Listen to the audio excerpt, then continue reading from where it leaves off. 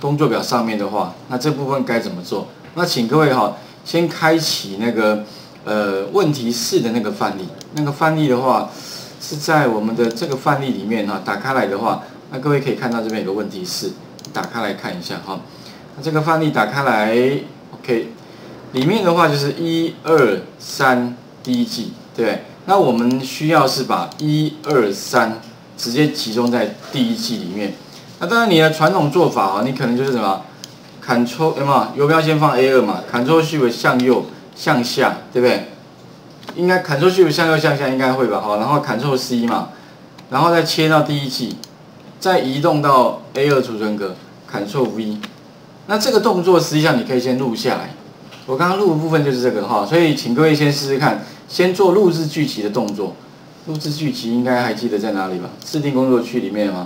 这个先打勾，好，所以刚刚的动作哈，你就可以把开发人员录制剧集，这个名称先我先用剧集一好了哈，有没有？第一步，呃，先选它对不对？然后再游标放在那个 A 二，Ctrl Shift 向右向下，Ctrl C 移到第一季，点一下这边，Ctrl V，Ctrl V 贴上，然后呢，再怎么样呢？Ctrl 向下，Ctrl 向下是什么？移到这个范围的最下面一列嘛。那最下面一列我还要再，因为我等下再贴上，对不对？贴到第二，所以再怎么样呢？再往下，往下的话就是再往下一个箭头。OK，好，录完之后的话你就停止。那实际上哦，我们来看一下，在这个地方按剧集就会编辑一下，你录的东西呢就会出来了。那各位可以看到哈。基本上这些东西呢，呃，这个是什么？第一季的选有没有选一月？不过这个地方我刚刚程式写的，除了说可以用一个名称之外，你也可以给它一个数字。数字一的话，就表示说第一个工作表，那么应该可以理解吧？有两种写法，一个是给数字，一个是给名称。后面点 select，好，这个这一行应该没问题哈。再来。这一行可以把它删掉了，因为我刚刚有用滚轮，有没有？它会录下来，就是什么 active window small scope 多少个？这一行其实可以不要，好。然后 A 二有没有？有没有放 A 二？这个应该可以理解吧，哈。然后全选 Ctrl Shift 向右，有没有？向下 copy，然后再切到第二季，在第二季的这个 A 二选取贴上，然后直接向。感受向下有没有？